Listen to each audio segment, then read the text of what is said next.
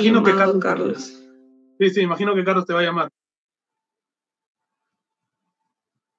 Chispas, ya.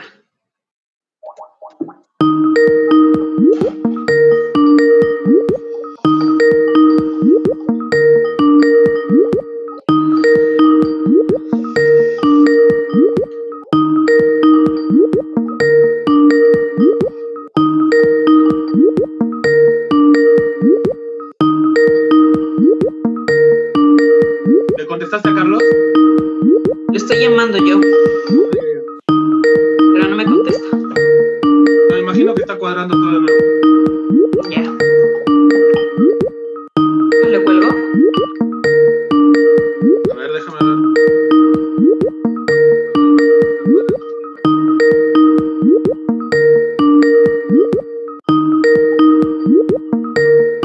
No me acuerdo dónde me quedé. ¿Proteínas?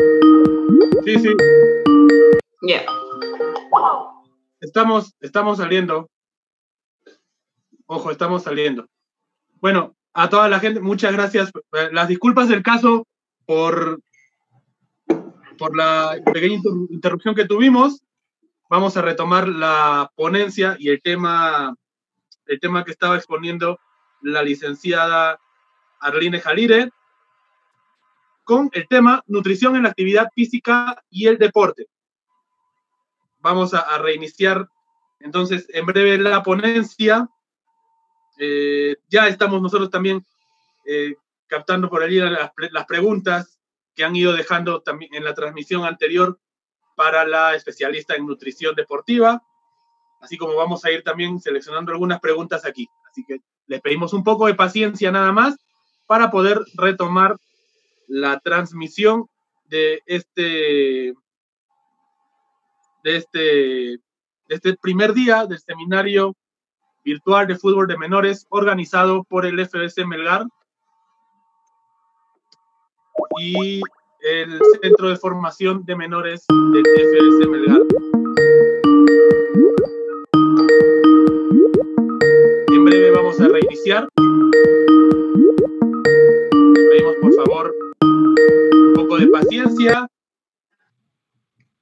Son cosas que a veces pasan en en este tipo de transmisiones en vivo, pero la idea es poder eh, seguir, seguir dándoles a ustedes este contenido. Ok, me parece que ya, está, ya estamos con, con Arline, ya estamos listos para poder reiniciar la transmisión. ¿Desde dónde nos quedamos? Para no ser, para no dejar el, el tema ahí colgado. Listo, ahora sí estamos. Listo. Nos quedamos en el tema de las proteínas y la explicación que daba acerca de, su importante aporte en, en, el tema del deporte, ¿no? Y la formación, sobre todo. Exacto. Entonces, bueno, recapitulando, las proteínas como sabemos, tienen una función formadora a nivel muscular, más que nada, y es lo más primordial en el deportista.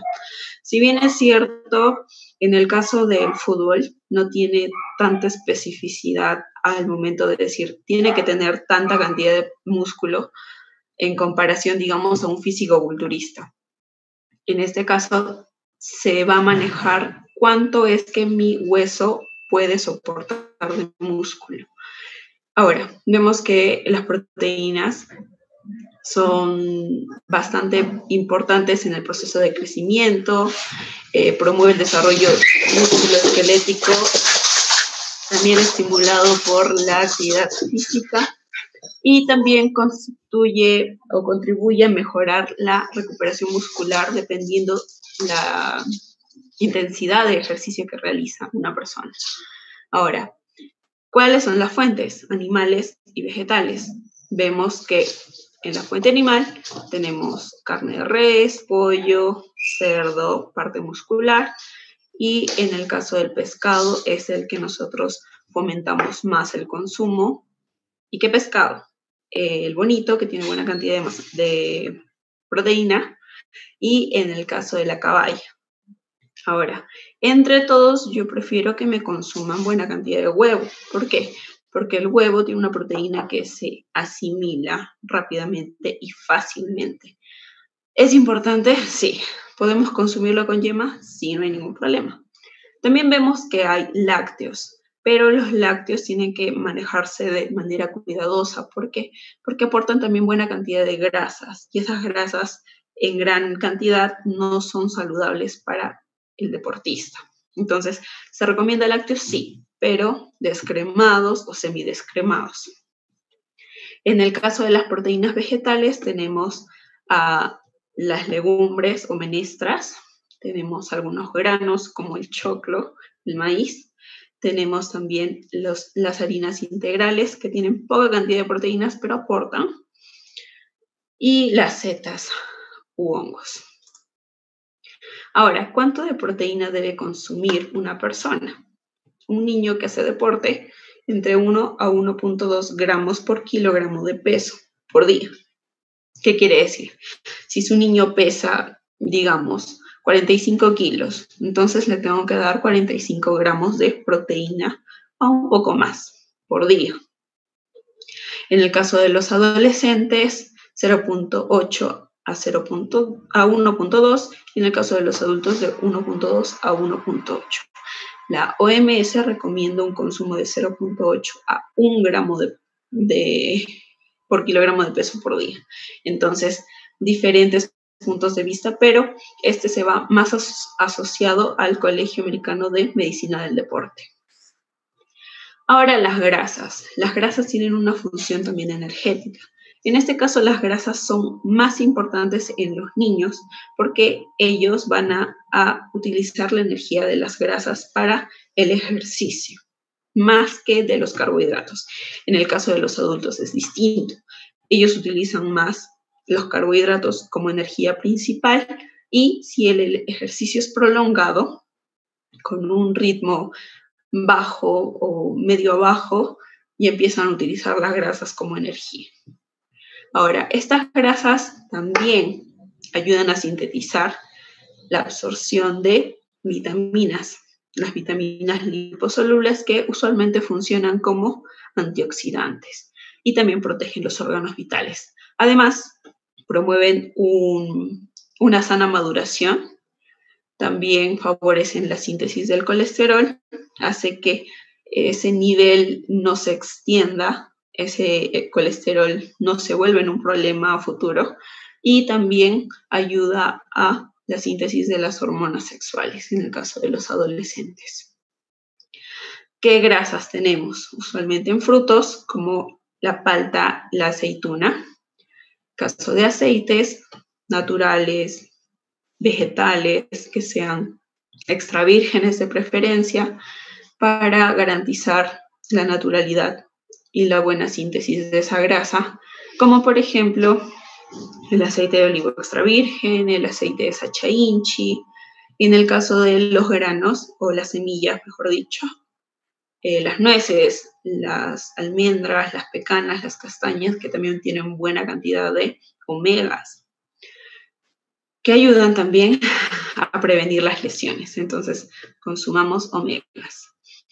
¿Cuánto debemos consumir en el caso de grasas? Niños y niñas van entre 30 a 35 porque, como dijimos, es el motor principal en los niños y en los adolescentes disminuye. 25%, en los adultos se maneja de 25 a 30%.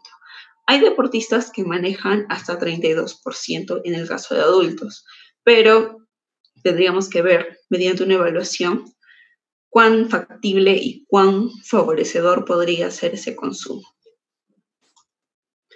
Ahora pasamos a los micronutrientes que los necesitamos en pequeñas cantidades, pero que a la vez son tan importantes para cualquier proceso fisiológico, para el deporte, para el crecimiento, para el desarrollo de un niño, adolescente e incluso también eh, mejora la performance del deportista adulto. En caso de las vitaminas tienen función reguladora. ¿Qué quiere decir? Regulan procesos, ayudan a metabolizar, ayudan a sintetizar, a absorber correctamente los nutrientes y formar dentro de mi organismo la energía, formar músculo, formar eh, buena cognición, etcétera, etcétera. Estos micronutrientes eh, solamente, no es que solamente se consuman o se deban consumir debido al desgaste y la intensidad del deportista, sino se deben consumir siempre.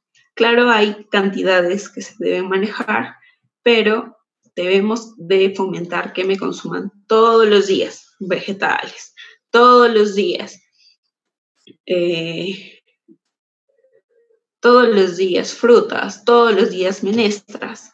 Entonces, todo eso va a ayudar a que ese complemento vaya a hacer factible una correcta performance. Ahora, ¿cuáles son las vitaminas principales o más importantes en el caso del el deporte? La vitamina del complejo B, tenemos la B1, la B2, la B3, la B6, la B9 y el ácido fólico. Ahora, estos van a participar específicamente en obtener energía de los alimentos que yo consumo. ¿Cuáles son los alimentos energéticos? Los carbohidratos y las grasas. Y también van a favorecer la producción de glóbulos rojos, que también ayudan a nutrir las células, a llenarlas de oxígeno y también favorece mi sistema inmune. En el caso de la vitamina C y la E, que son más que nada antioxidantes, van a ayudar a la recuperación post-entreno. Un eh, deportista que no me consuma buena cantidad de estos nutrientes difícilmente se va a recuperar de un entrenamiento intenso que otro que sí consume. Y la vitamina D. La vitamina D en el 70% lo podemos obtener por parte de los rayos solares, porque mi cuerpo tiene ese nutriente en una manera bastante específica. Entonces, combinado con los rayos solares, mi cuerpo produce vitamina D. Pero el otro 30% lo podemos consumir de pescados, de lácteos, huevo, también algunas setas y algunas legumbres.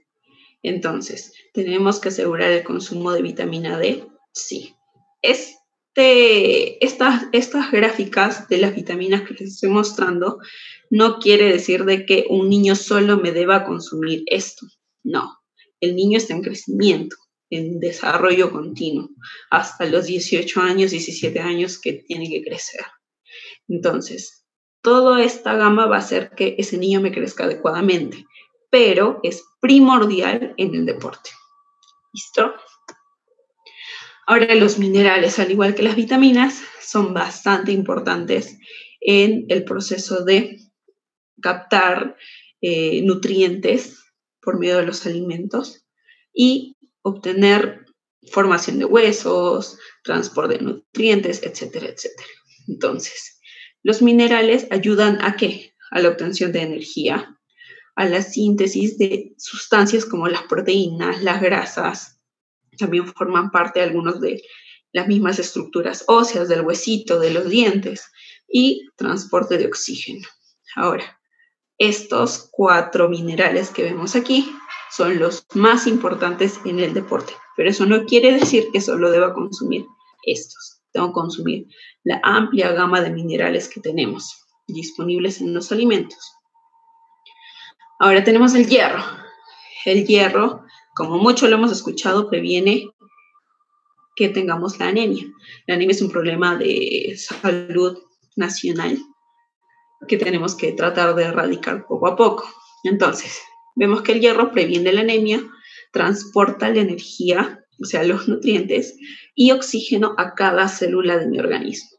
Un deportista que tiene anemia, un deportista que no tiene buena cantidad de hierro, no me rinde. Entonces, el hierro lo podemos sacar por un hemograma y podemos saber cuánta cantidad de eh, hierro tiene mi organismo. En el caso del magnesio, hemos visto, o mejor dicho, tiempos atrás se ha fomentado bastante el consumo de magnesio por el magnesol, etcétera, etcétera. Entonces, ¿es importante el consumo? Sí, porque es un mineral básico para el deportista porque relaja la musculación. relaja eh, la masa muscular en caso de contracturas y también ayuda a un buen funcionamiento del corazón. Un chico, un deportista que tenga poca cantidad de magnesio en su organismo tiende a tener contracturas musculares, lesiones importantes en grandes grupos musculares. Entonces hay que consumir más eh, verduras de color verde oscuro, la chía, yogur natural, el plátano, las almendras, las menestras, la palta, etcétera, etcétera. En el caso del calcio, participa en la formación de huesos y dientes y también mantiene la densidad ósea. ¿Qué quiere decir?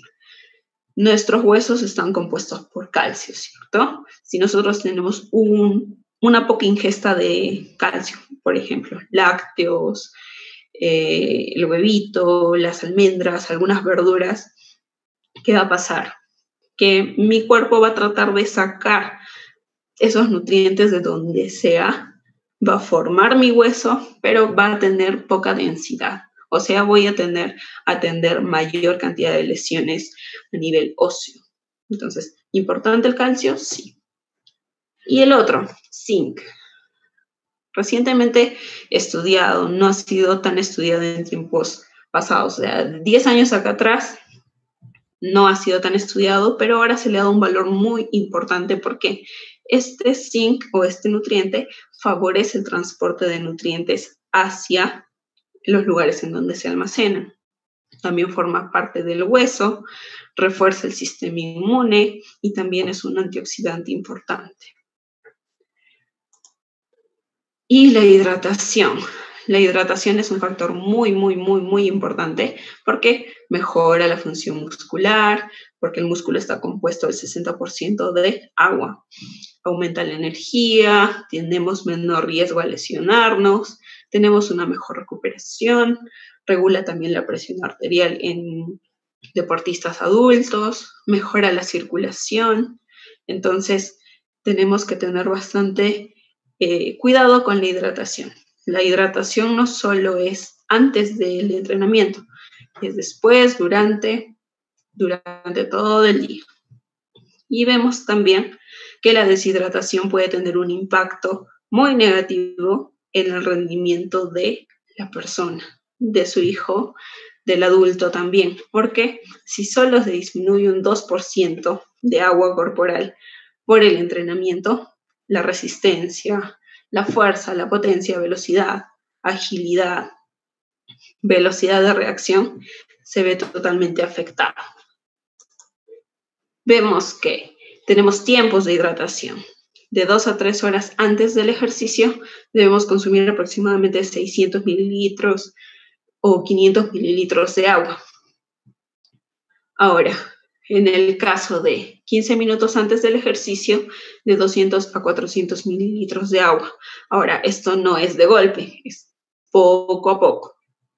Durante el ejercicio, cada 15 minutos, 20 minutos, podríamos estar consumiendo de 150 a 300 mililitros de agua y después del ejercicio, aproximadamente un litro y medio pero este litro y medio va a depender de cuánto de agua he perdido por el entrenamiento o el ejercicio.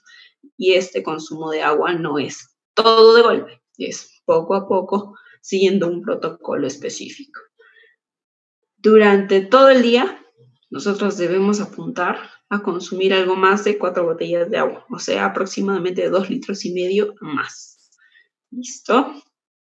Ahora en recomendaciones generales debemos que consumir o tratar de que tanto los alumnos, los hijos, los mismos deportistas consuman alimentos de todos los grupos de alimentos, tanto carbohidratos, proteínas, grasas saludables, frutas y verduras, pero prioricemos carbohidratos integrales y proteínas en la práctica del fútbol. En el caso del el consumo de frutas y verduras, usualmente hay problemas en consulta de que mi hijo no quiere consumir frutas, no quiere consumir verduras. Más que nada cae por la desinformación. ¿Listo?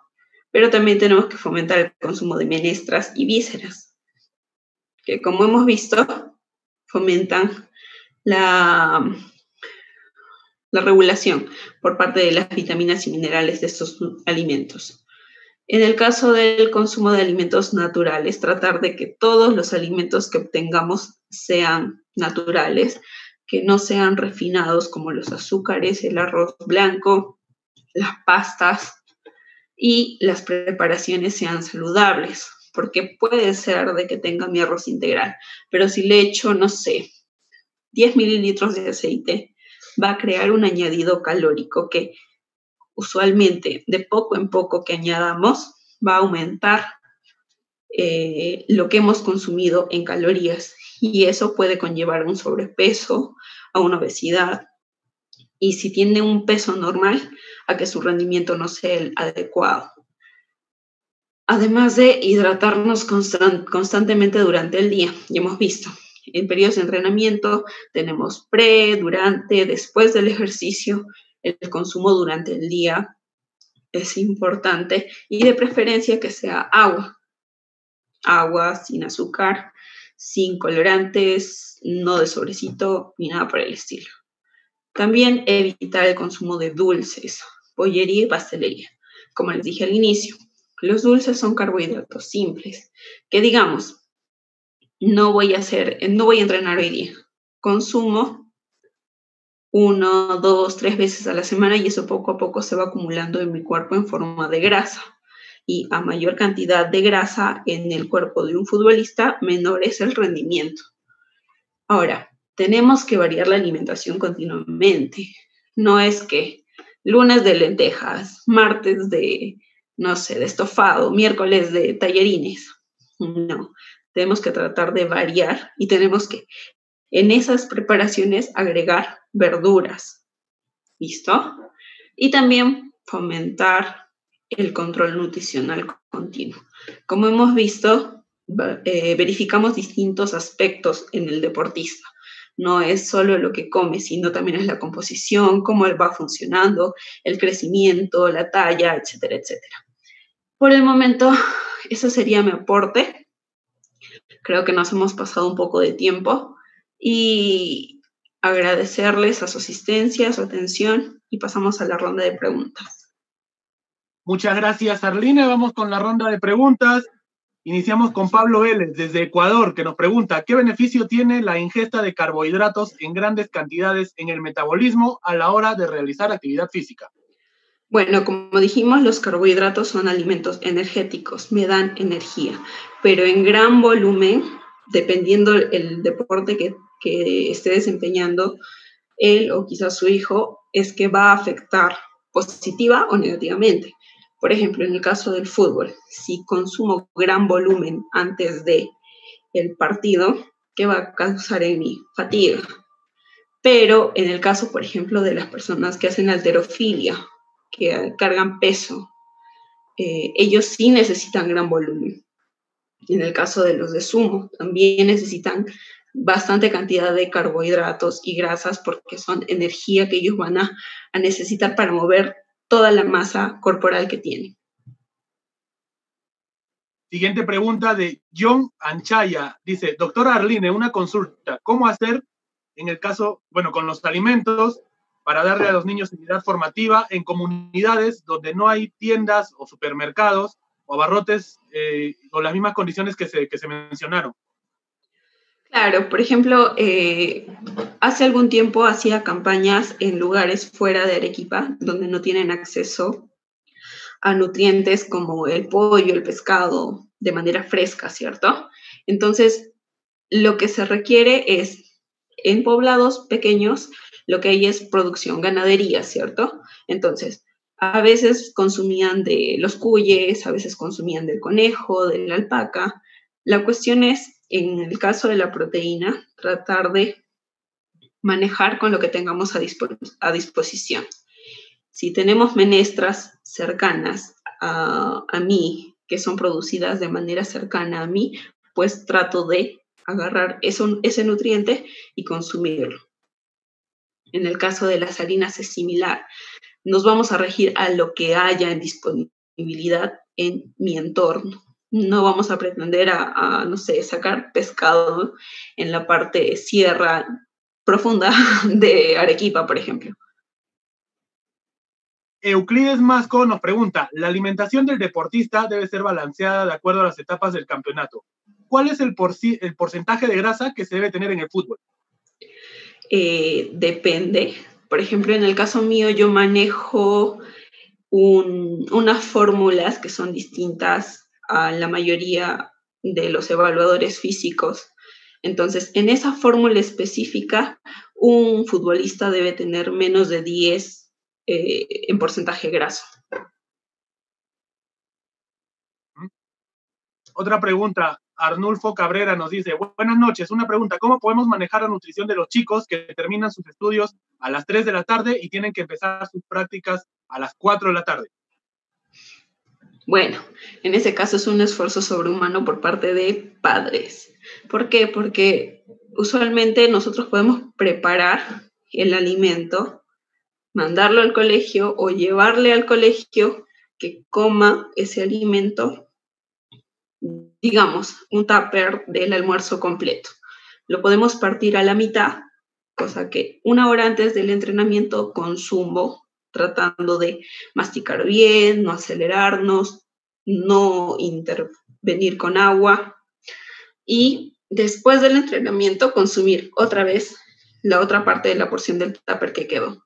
Entonces, con eso me aseguro de que él está comiendo, que está llegando al entrenamiento con energía. O por otro lado, tratar de mandar fruta.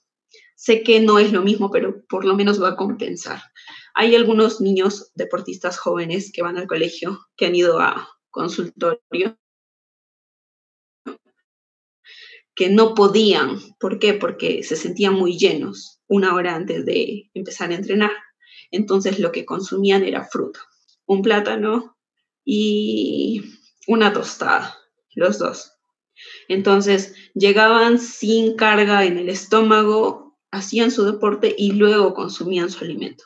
Pero luego es inmediato, casi a los 15 minutos terminando su entrenamiento. Entonces, Puede manejarse, sí, pero también va a depender de la predisposición, tanto del niño como de los padres. Una última pregunta de César Hualpa nos dice, si es que el entrenamiento es a las cinco y media o seis de la mañana, ¿qué se debe consumir antes y después? Bueno, en el caso de los, de los jóvenes que empiezan a entrenar muy temprano, lo ideal es que media hora antes tomen un jugo de frutas tratar de que sea cargadito, o sea, frutas que no tengan cáscara como el mango o el plátano, que liberan rápidamente la energía al torrente sanguíneo. Entonces, eso va a hacer de que el niño pueda durar en el entrenamiento. Ahora, si es que el niño también puede consumir una o dos claras de huevo y no sentirse fatigado en el entrenamiento, sería genial. Y después del entrenamiento es igual, una carga de fruta o arroz o fideíto en pequeña proporción, más una proteína, puede ser pollo, puede ser pescado, puede ser res, parte muscular, y un poquito de ensalada o solo la harina y la proteína, con eso va, va a bastar. Perfecto. Muchas gracias, licenciada Arline. Bueno, este fue el segundo tema del día. Por ende, bueno, con esto culminamos el primer día de ponencias de este seminario virtual de fútbol de menores organizado por el FBC Melgar y la Escuela de Menores también de FBC Melgar. A la gente que está haciendo algunas preguntas en el aspecto físico, en el aspecto psicológico, no se olviden que mañana desde las 5 de la tarde, desde las 5 de la tarde, tenemos las tenemos cuatro ponencias más en donde se tocará el tema de preparación física, se tocará el tema de eh, fútbol femenino, se tocará el tema de intervención psicológica y se tocará el tema de metodología en entrenamiento en juveniles y profesionales a cargo de ponentes nacionales e internacionales. Así que estén atentos. Mañana nos reencontramos desde las 5 de la tarde también a través del canal de YouTube de Melgar TV. No se olviden también que siguen abiertas las inscripciones para el campus Melgar entrenamiento a distancia para niños y jóvenes de 6 a 18 años. Eh, la mensualidad es de 50 soles, informes e inscripciones en todas las redes oficiales de FBC Melgar. Nosotros nos reencontramos mañana desde las 5 de la tarde. Muchísimas gracias, Arline. Muchísimas gracias a todos por su compañía. Nos reencontramos el día de mañana. No se olviden, 5 de la tarde también a través del canal de Melgar TV. Gracias a todos. Chao. Chao.